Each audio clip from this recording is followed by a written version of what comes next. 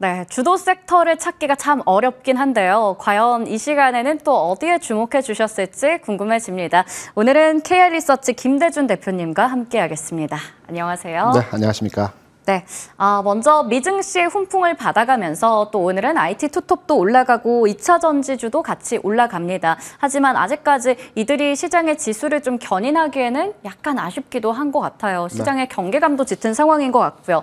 휴장 앞두고 저희 어떤 대응 전략을 좀 세워야 될까요? 음, 조금 우매한 질문일 수도 있는데 네. 김수영 앵커가 판단할 때 지금의 시장이 네. 2,700포인트를 넘어서서 기존에 있었던 위치까지 회복 가능할까요? 단기간 내.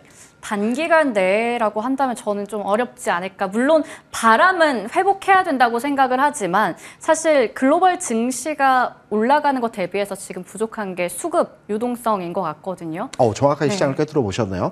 어, 저 또한 지금의 장은 어, 지금 지수 영역 구간이 단기 고점 형태에서의 지수 구간이라고 판단이 되고 있고요. 당분간의 영역, 당분간이라고 한다면 1, 2주 사이 흐름이 아니고요. 어, 최소 9월, 10월까지의 지수 흐름에서의 측면은 박스권 내에서의 횡보 과정에서의 시장 흐름이 진행이 될 가능성이 크다라고 판단을 하고 있습니다. 네. 어, 거기에 대한 이유로의 몇 가지 내용을 살펴보게 된다면 뭐 미국 시장에서 엔비디아가 많이 올랐고 지수도 상승을 했고 전체적인 분위기가 좋다라고 판단이 돼서 시장의 상승에 대한 분위기가 최근 확산되고 있는 게 현실입니다. 그런데 시장이 하락 이후에 제자리를 찾아가는 V자 반등이라고 하죠. 네. V자 반등으로의 제자리 회복하는 형태에서의 모습이 나타날 때는 음. 조건식이 몇 가지 있습니다. 네. 첫 번째는 어, 하락의 끝단점에서 두 번의 투매를 동반한 하락이 나와야 됩니다. 음. 어, 지금 주가 하락을 할 때 첫 번째 그 투매를 동반한 하락이 한 번 있었죠. 네. 두 번은 아니었어요. 네. 그리고 두 번째는 지수가 회복 과정에서 거래량, 거래 대금이 이전에 하락했을 때의 물량을 다 잡아주면서 포화, 어, 소화하면서 올라가는 시장에서의 흐름이 나타나야 되는 겁니다. 그런데 최근 시장에서의 흐름을 판단해 보게 되면 지수가 지난번 크게 빠질 때는 거래량 거래 대금이 늘어났어요. 네. 그런데 이번 주 구간에 음. 들어서 반등 주는 시장 흐름에서 거래량 거래 대금이 극히 감소한 현상에서의 모습을 보여주고 맞아요. 있습니다. 네. 특히나 거래소 기준으로 해서 판단을 해보게 되면 음. 어제 오늘 그제 거래 대금이 한 대략 한 7조, 8조 규모에서의 형태를 취하고 있거든요. 그러면 이전에 하락 이전에 거래 대금이 보통 얼마였느냐? 12조, 13조였습니다. 음. 급격하게 감소한 상태에서의 네. 반등이 나타나고 있죠. 거래 대금이 감소한 상태에서의 반등은 제자리로 찾아가는 반등의 흐름이 아니고요. 낙폭 과대에 대한 일시적인 반등 흐름에서의 음. 모습이라고 판단되는 기술적 반등 정도. 당연하죠. 네. 기술적 반등에서의 흐름입니다. 어, 시장 내부적인 내용에서의 흐름을 판단해 보게 되, 더라도 앞서 잠깐 말씀해 주셨지만 주도 섹터가 특별하게 나오지 음. 않는 가운데에서 네. 종목 간의 순환의 형태의 흐름들이 네. 많이 진행되죠. 물론 하이닉스가 최근 상황 하에서 가장 발빠른 주도형 종목으로 반등을 주고 있지만 기존에 24만 원에서 20만 원을 하락했고요. 15만 원까지 하락한 이후에 지금 18만 원을 살짝 넘어서는 형태에서의 반등입니다. 그래서 어, 지금의 장은 지수가 움직이는 시장에서의 형태가 아니고요.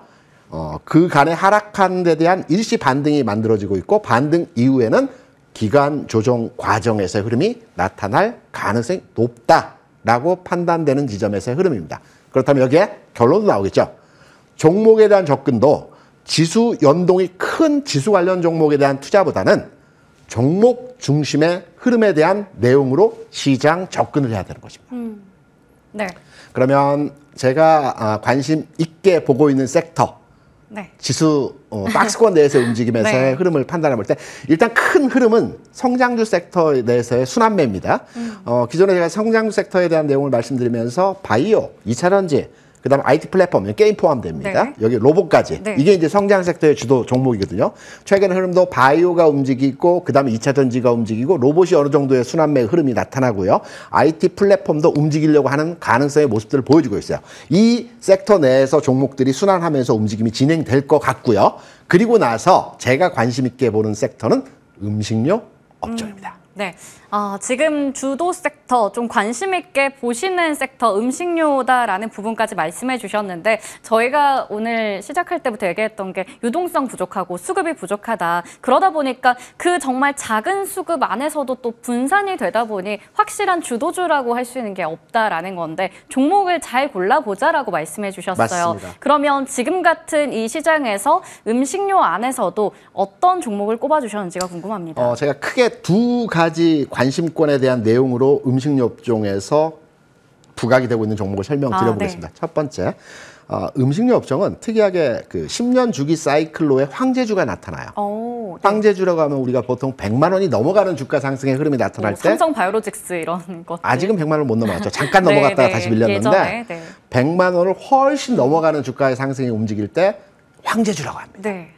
네. 과거에 2004년도에 네. 황제주로의 주가 움직임을 보여줬던 음식료 업종의 대표 종목은 롯데칠성과 롯데제과입니다. 네. 지금은 기업이 분사하고 합병하는 과정에서 예전에 이름을 가진 회사가 아직 나, 와 있지 않지만 네, 네. 지금 분사해서 다른 기업 명으로 바뀌었죠. 네. 2004년도에 롯데칠성, 롯데제과가 100만 원을 뛰어넘는 주가 상승이 나왔고 140만 원, 150만 원까지 올라갔어요. 어, 네. 그로부터 10년이 지나서 2014년도에는 갓뚝이라고 하죠. 오, 네. 오뚜기가 아마 제 기억으로 판단을 해보게 되면 어, 그 당시에 한 40만 원대에서 주가가 움직이기 시작해서 150만 원까지 주가 상승의 흐름이 아, 그렇군요. 나타났거든요. 네. 한 1년 반, 2년 동안에 음식료 업종의 대장주로의 황제주가 오뚜기였습니다. 네. 계속해서 올라갔습니다. 물론 하루도 쉬지 않고 올라간 것이 아니고 중간 네. 단계에서 중간중간 쉬는 과정들이 나타났고요. 앞서 말씀드린 롯데 실성이라는 롯데제과라든가 오뚜기 같은 경우에도 70만 원이 마의벽입니다. 여기서 네. 한번 쉬는 구간이 나타나거든요. 그리고 100만 원을 도약하는 형태로서의 주가들이 많이 나타났어요.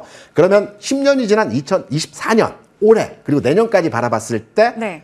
해당 종목에 관심권에 두고 있는 종목은 딱 생각나는 게 있는데 지금 말해도 되나요? 네 말씀해 보십시오. 삼양식품. 그렇죠. 네. 뭐 음식료 업종에 많은 종목들이 있겠지만 가능성 지금 현재 주가 대비해서 가능성을 두고 있는 종목은 삼양식품. 아, 네. 이게 첫 번째 이유로의 음식료 업종에 대한 삼양식품에 관심권에 두고 있는 내용이고요. 네. 두 번째는 MSCI 지수 편입 아, 가능성입니다. 맞습니다.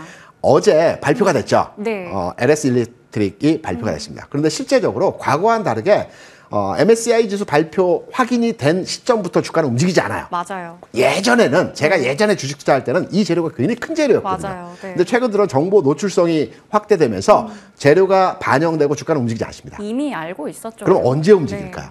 MSCI 지수가 2월, 5월, 8월, 11월 네 번그 네. 그 CI 지수 발표 있습니다. 어, 5월에 편입되었던 종목들이 몇몇 종목들이 있었습니다. 한화 맞아요. 에어로스페이스, 네. KT, 그다음에 코스모 신소재 어, 같은 종목들이 5월에 편입됐었거든요. 이들 종목이 5월 이후에 편입된 뒤에 주가 움직인 것이 아니고요. 편입 가능성이 있다라는 얘기가 돌 때 2월부터 주가 올라갔어요. 맞아요. 뭐두 배, 50%. 이 3월에 주가 많이 올라갔어요. 그러면 지금 시점에서 11월 MSCI 지수 편입 가능성 있는 종목들에 대해서 우리가 관심을 가져야 되겠죠. 이미 그래서 현대로템 뭐 이런 종목들 신고가 현대로템이 저는 네. 관심권이었는데 너무나도 많은 네. 어, 시장에서 얘기들이 있더라고요. 그리고 현대로템에 대해서 관심도 가장 커요. 네. 그래서 가능성 충분히 있다고 네. 봅니다. 그래서 현대로템이 1순위로 편입 가능성이 있다고 판단되지만 현대 로템보다는 현재 네. 사람 어, 투자자들 사이에서 그렇게 인식이 크지 않은 삼양식품 또한 3순위 정도의 네. 순위로의 편입 가능성이 있는 종목입니다. 그래서 11월 대비해서 주가가 움직일 수 있는 이 형태의 내용으로 어, 관심권에 두고 있다. 두 가지 큰 흐름에서의 내용으로 해당 종목에 대한 내용으로 평가를 하고 있습니다. 네. 어, 삼양식품에 대해서 먼저 저희가 긍정적인 포인트 두 가지 짚어봤네요. 어, 10년 주기로 돌아오는 사이클에 있어서 황제주가 될 수 있을 것이다라는 기대감도 있을 거고요. 11월 MSCI 지수 편입과 관련한 기대감도 작용하고 있습니다. 자, 그리고 오늘 하이트 진로가 1, 2분기 연속으로 호실적을 발표하는 등 또 섹터 내에 훈풍을 좀 불어 넣어주고 있는 상황인데요. 네. 횡보 구간에 있던 음식료주, 화장품 쪽이 약간 쉬어가니까 오늘 음식료 쪽이 좀 뜨는 것 같기도 하거든요. 종목별로 봤을 때. 네. 여기서 실적 성장을 긍정적인 포인트로 짚고 싶은데 가장 큰 요소라기보다는 하나의 요소 이렇게 좀 보는 게 좋을까요? 오늘 음식료 업종의 전반의 흐름은 일부 종목은 올라가고 일부 종목은 하락하는 형태에서의 모습들이 나타나고 있어요. 네. 이게 환율과 관련된 내용으로의 진행이 나타난다고 볼 수- 보고 있습니다. 어, 최근에 환율 상태는 1,360원에 1,380원 사이에서의 등락의 모습이죠. 특히 최근에 주가가 많이 움직였던 방산이라든가 전력기기라든가 화장품이라든가 음식료 업종은 네. 수출이 개선되고 있는 상황에서 수출 주도형 종목으로 그렇죠. 주가 움직였어요. 네. 환율이 계속해서 1,350원 이상의 가격을 유지하고 있을 때는 이 수출 관련주들의 호응도가 높아집니다. 하지만 환율이 하락으로의 전환이 되었을 때는 이 관련한 종목들의 매출과 성장세에 대해서 조금은 저의 요소로 판단될 수 있는 상황에서의 흐름이죠. 제가 오늘 삼, 삼양식품을 말씀드리면서 실적 개선 기대감에 대한 말씀을 안 드렸어요. 좀 전에. 그런데 굉장히 실적 기세 개선 어, 개선에 대한 기대감이 있습니다. 이 내용을 제가 이제 삼양식품을 말씀해서 설명을 드릴 건데 실적 발표가 방금 전 한 20분 네, 전에. 전에 네. 실적 발표 나왔습니다. 우리가 모두가 예상하고 있다시피 역대급이죠. 역대급입니다. 네.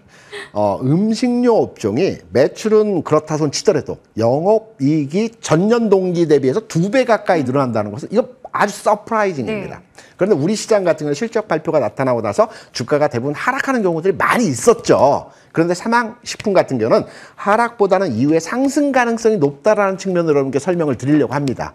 첫 번째, 어, 음식료점 같은 경우는 기존에 방산이라든가 전력기기라든가 화장품 같은 경우에 영업이익단에서 1년 차를 두고 두배 이상의 증가가 나타나는 업종이 없어요. 그만큼 삼양식품의 매출과 영업이익이 절대적으로 증가하고 있는 추세에서의 흐름이 나타나고 있다라고 판단이 되고 있죠. 그렇다면 여기서 하나의 결론적으로 내릴 수가 있습니다.